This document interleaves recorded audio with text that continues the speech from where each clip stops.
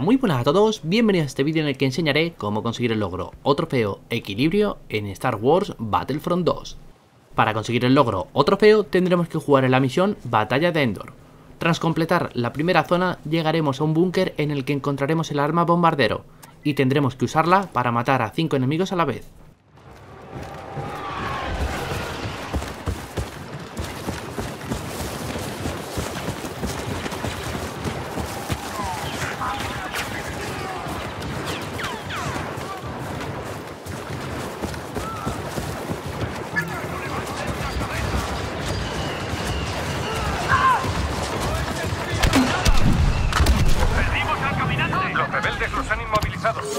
Hay que ayudar a nuestros soldados. Vamos.